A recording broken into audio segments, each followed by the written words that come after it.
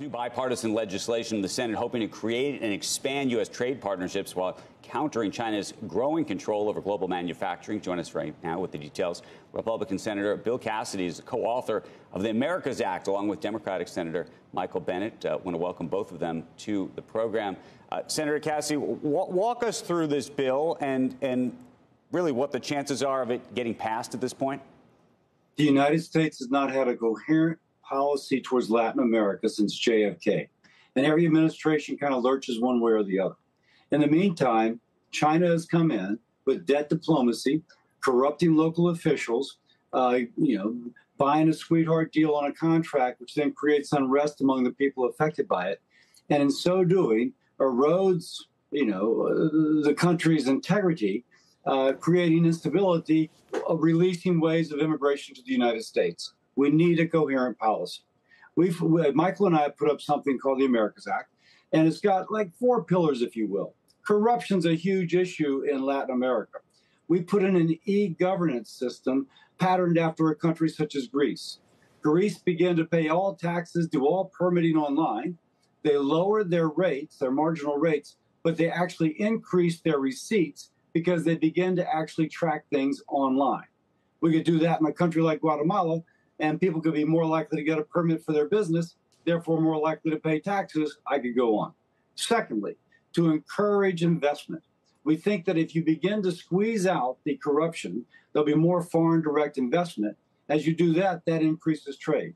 Lastly, or not lastly, but another component, we would allow countries which met certain criteria to kind of bolt on to the USMCA. And now they could trade not just with the United States in a bilateral relationship, but in a multilateral relationship, which would you know, improve their economy, make it more stable, and make people more likely to stay there as opposed to migrate to the United States.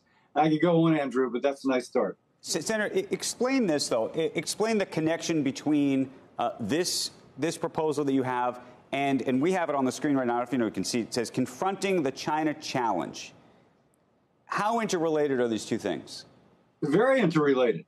Um, if if if I heard a general say that if a young recruit needs a car, he's going to buy the car even if it puts him deeply into debt with bad terms. So there's countries in Latin America that are turning to China for financing of projects. Uh, the Chinese will bring in Chinese workers, bring in Chinese cement, etc. It doesn't really leave the country better off. In many cases, the construction is shoddy, but the country is left with bad debt. Now, the only place you have to turn, though, when you need help is China, you're going to turn to China. This is a way to use good trading relationships, to structural reform within the country, to create an environment where other countries will come in, including the U.S., uh, in a more positive way, not with debt diplomacy, not with corrupting local officials, but by actually making a stronger structure of government right. and of economy.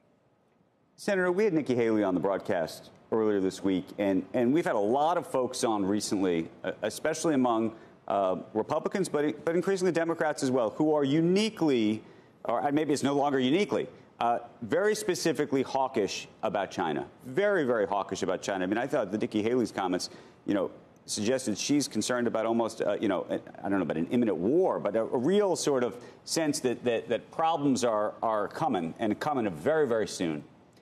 Do you have any perspective on how you would effectively try to prevent that if that was the case? And is there any way to create a more stable relationship? I think so. We need China is a frenemy, um, a competitor that will challenge us militarily, but there's a way to diffuse it. Uh, so another thing that we're proposing to address uh, the China situation, if you will, is a foreign pollution fee. Right now, China just emits all kinds of air pollution. They do not enforce uh, environmental regulations. It's actually cheaper to manufacture in China. It is an incentive for companies to move there. A CFO told me he could get 18 to 19 percent uh, return on investment building there because they told him he did not have to turn on his scrubbers. He could not defend taking a lower ROI building here, having to comply with our environmental regulations. Okay, right. the international commons are destroyed let's impose upon China the, the avoided cost of them not complying with environmental regulations. If you bring over a carbon intensive product, okay, you are going to have to pay a tariff that's equal to the to the regulatory cost of compliance uh, in the United States for that particular product. Hmm. Now, we'd like to swap out existing tariffs. We don't want to increase tariff barriers, but you would make it a tariff which was directly tied to their lack of environmental compliance. That gives them a positive incentive to begin to lower their their uh, environmental footprint, uh, uh, uh but it right. also strengthens our economy, and I think I think begins to to equalize the right. relative imbalance about some things. It's a positive. One last quick question, which is one of the things you're trying to do is end corruption uh, in some of these other countries. You talked about sort of the example of Greece and being able to collect taxes. And I'm so curious whether you think you would apply some of the things that are in this proposal to those of us here in the United States, because we have uh, so many both loopholes. I mean, we and we have an electronic system, but boy, does that system not work. And, and, and the way to audit and to actually control and make sure that we're actually collecting the taxes that we need. What do you think of that? I, I think there's many ways we can apply this. So, for example, one thing we envision is instead of having to pay somebody under the table in a Latin American country to get a permit to open your business, you would do it online. We should do that here in the United States. You can do so many things online that you don't have to waste your time to go stand in line. Now, we don't have to pay a bribe here typically to get a permit, but there's still the opportunity cost of having to stand in line. There's a lot of things we can do in the in the e-governance situation that'll make our society more more pleasant, more efficient.